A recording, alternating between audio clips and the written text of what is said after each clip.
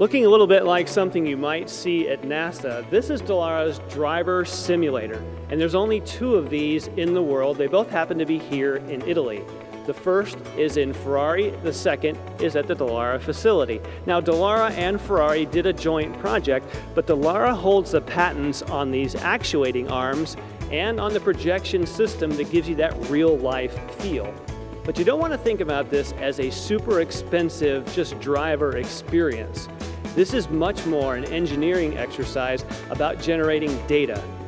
When you think about a driver who takes a car out and tests on a racetrack, you also think he pulls into the pits and then you have an engineer that plugs his laptop in and gets that ultra important data.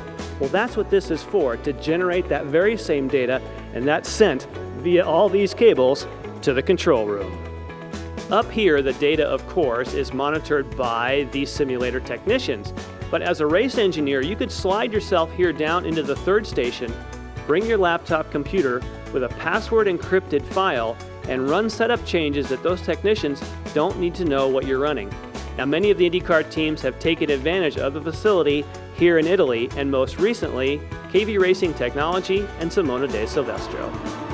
I've never been in a simulator, so it was a really new experience for me and for the for the team too. You know, they got to try uh, different things, different setups, uh, and you know, you do a lot of laps. You can do the changes really quick in the in the simulator, so you can learn a lot in a really short time.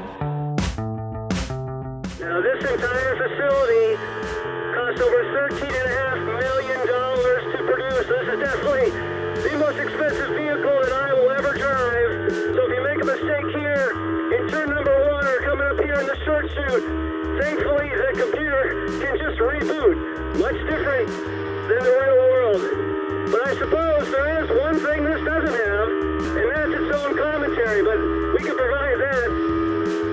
And that's the Fed lap! If he can do one more, if he can keep it together, he could qualify for the Indy 500!